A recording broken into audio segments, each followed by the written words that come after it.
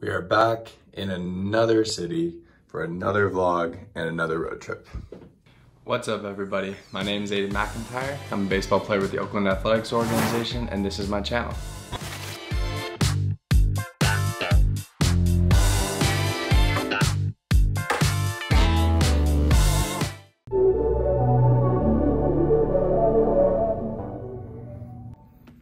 This is the start of the week. I'm gonna try to make this a week-long vlog, uh, collect a bunch of different stuff from the hotel, the field, uh, games, what we eat for breakfast, all that good stuff. So I hope you guys are subscribed. If you aren't, you should probably do that. I appreciate everybody for watching and helping grow the page. Um, I'm excited for this vlog. I think it's gonna be dope. Uh, so this is pretty much daily routine. Uh, wake up between usually nine and 10. Uh, usually going to bed at like midnight to one, depending on what time the game ends. Uh, so wake up, usually go get some coffee, get some breakfast, usually around like noon or one-ish. So it's pretty late uh, breakfast, but I like to fast in the mornings, have some coffee, uh, get some work done get some food, and then usually there's a few hours before we head over to the field. Um, usually get over to the field between three and four, something like that. So uh, usually we take a bus if the field's kind of far away since the field is so close to the hotel. We got birds, limes, and uh, Veos, scooters. So a lot of scooters, um, a lot of scooter trips. As always, start the mornings with a little coffee, a little venti water, keep it real simple. All right, so it's been a while since the last vlog, so I'm excited to get another one going. Season is going well. We are more than halfway through uh, the 2021 season, so I think we got like seven weeks left. So gonna try to pump out some more videos. This one will be another road trip vlog. We are in Wichita, Kansas. We just came from Tulsa, Oklahoma. So kind of moving all around. Um, this is about 10 to 12 hours away from Midland, so we're kind of out here. But we will be back in Midland for a two week homestand, and then there's only a month of season left, so we're kind of just uh, bouncing back and forth. So season is uh, it's kind of getting through the way. So we will uh, probably have maybe one more vlog, and that'll be it. So I appreciate everybody for watching. Final two week roadie of the season is coming to an end. Um, we'll grab some content of getting on the bus, stuff like that. But mixing games and some other uh, stuff about the minor league season. So hope you guys have enjoyed. Uh, we have enjoyed Wichita. Been a good series, been uh, had some weird losses. This time we're in Wichita, Kansas. We also added to the new Lulu family, another pair of joggers, another pair of strap-on bands. Keep it high fashion. I'm also getting to that point of the trip where I don't have much clean clothing left. Also got cool new uh, training tool, I guess. So it's like the Hyperice, but it's a Venom line, and it is a low back like heater and massager. 10 out of 10 would recommend uh, for anyone for training, especially if your low back is tight. Um, the reason I got it was because of bus rides. You sit on a bus ride for 10 hours, your back's gonna hurt the next day. There's been a lot of scooter trips this, uh, this road series, especially because the field is close, but not that close. Um, so we'll take you guys over to the field, show you around the ballpark and uh, what it looks like in there. So it's about three o'clock. Gonna head over to the field now. These are some game day essentials, charger, AirPods, wallet, Red Bull.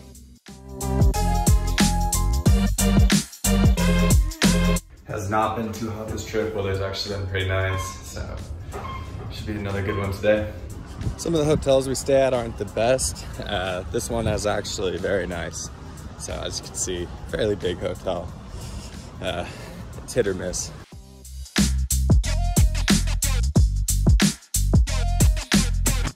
Not sure if I can actually scooter and vlog, so probably just not gonna attempt.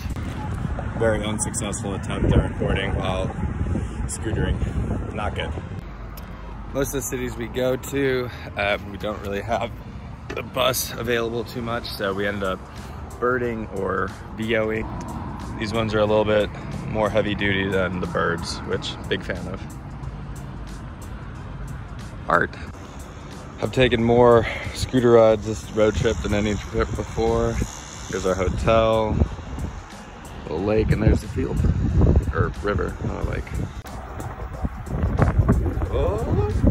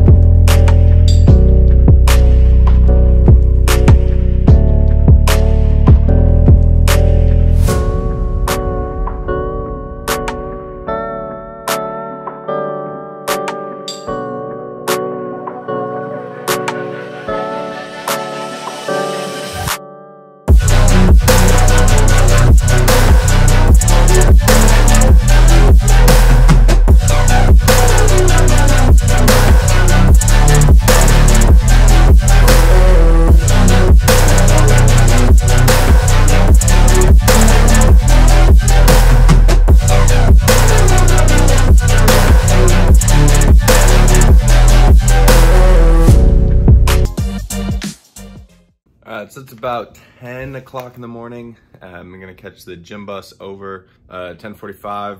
Get a lift in. I threw yesterday, uh, so lift in post throw day. Uh, when you're on the road, you lift in the other team's weight room if you can uh, early in the morning. If not, you kind of have to do a makeshift one at the field. So last night's game didn't finish up till midnight. Probably went to bed around 1.30, 2, maybe. So it is kind of a fast turnaround, uh, but that also happens. So usually games are done by like 10. Last night was a marathon. Very much in need of a laundry day. Uh, today's video, I'm gonna be talking about a more in-depth look at what minor league life is like. Um, I've done minor league vlogs, I've talked uh, in videos about kind of pay and in-season stuff like that, and I wanted to make a more detailed video talking about uh, signing bonuses, in-season pay, uh, how housing works in season, per diem, bus trips, all that good stuff. So want to give you guys an inside look into what it's like to be a minor leaguer and some of the more like detailed stuff that uh, not everybody knows about. So that's today's video. Really appreciate you guys for checking it out. All right, so before we get into today's video, make sure you guys subscribe wherever the button is.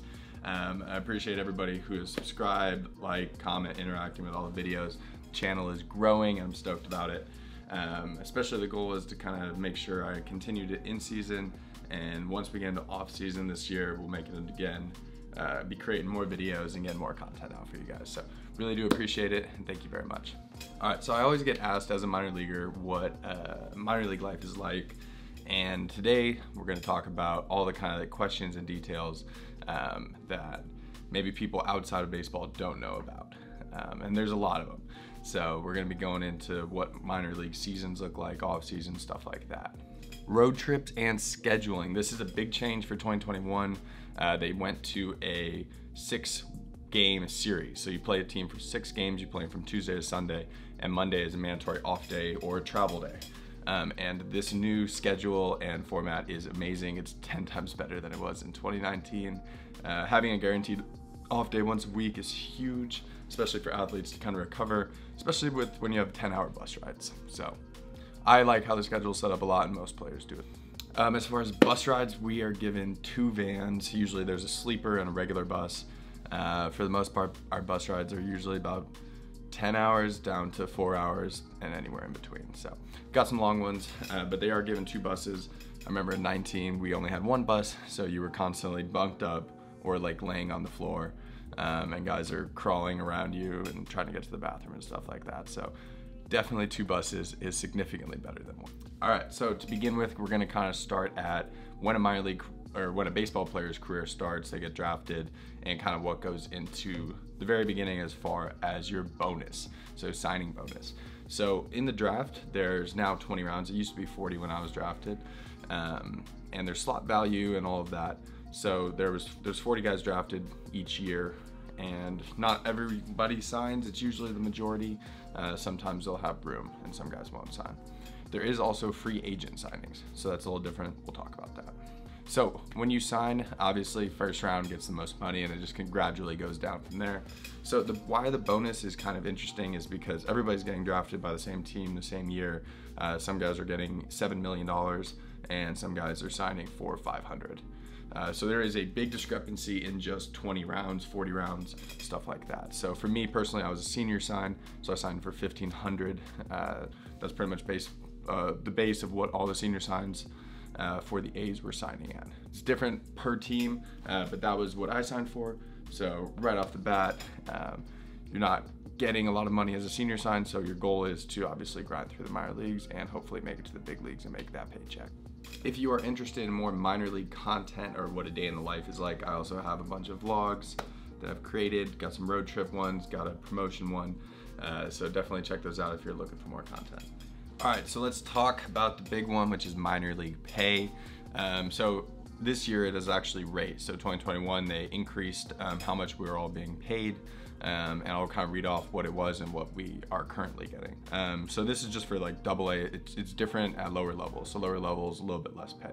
Um, for instance, high and low A, went from 290 a week to 400 a week. So for double A players, our pay went from 350 to 600, which is a big difference from the 350. to 600.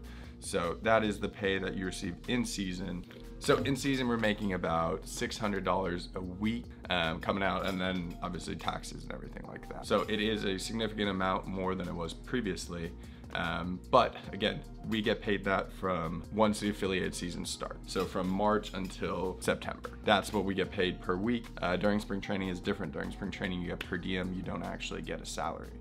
Uh, so once season ends, your payment ends.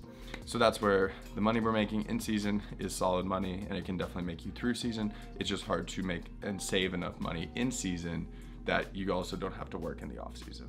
So the reason bonuses are very important is because as a minor leaguer, you don't make enough money to live off of for the full year.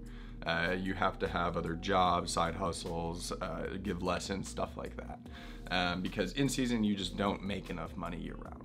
So that's why a bonus is a big deal because if you get a lot of money, then you don't really have to worry about working other jobs in the off season and stuff like that. So for me personally and other buddies and guys who are senior signs or didn't get a big bonus, a lot of guys do pitching lessons, work at Lulu, uh, I do YouTube, stuff like that. So there's a lot of different options and guys definitely get very creative with it. So another one is per diem. We do receive per diem uh, for in season, for meal money on road trips and stuff like that. Um, and per diem is separate from like your salary. So per diem is very helpful for food and just like kind of minor costs, um, especially when you're on the road because again, you're kind of on your own for breakfast, um, even lunch some days, depending on what time you're getting. So it's another one a lot of people are confused about is we only get paid half the year. So we only get paid for in season. So we get paid once affiliated ball starts, you get paid from the start of the season to the end of the season.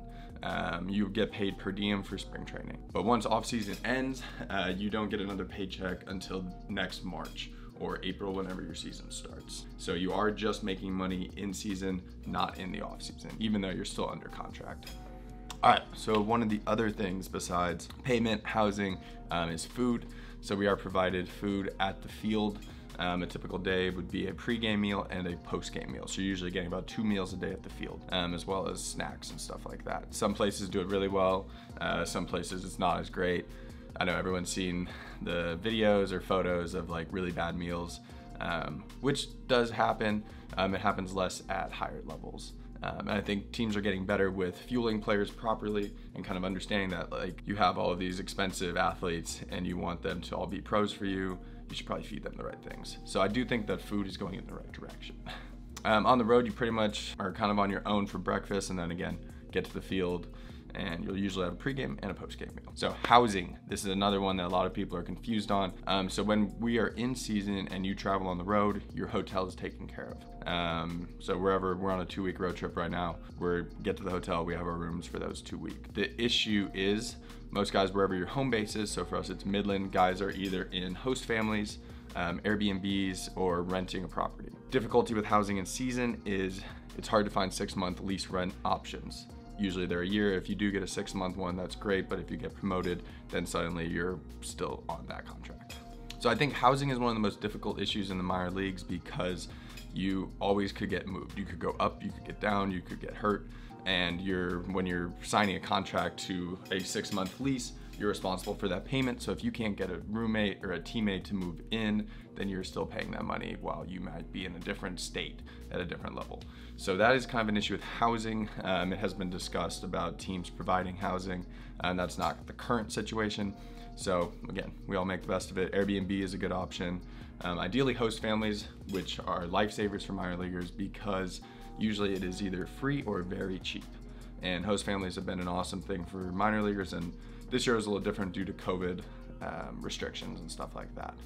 All right, so that kind of covers it for a bunch of random minor league uh, bits of information from housing to payments to per diem to road trips and food and stuff like that. So, wanted to give you guys more of an inside look on some of those details um, as you kind of are following along.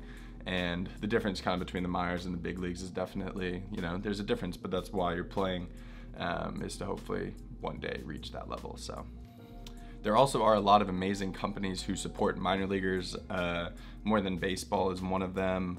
Um, adopt a minor league player. Like there's a lot of people who really do care about minor leagues and want to make it a better place. Uh, and I think that it's definitely trending in the right direction. I think minor leaguers are being treated better um, and kind of being helped along, um, hopefully on the road to the big leagues, um, a little bit more than definitely was in the past. Um, I think that there's still definitely room for improvement, and obviously players would probably like to be paid more and stuff like that.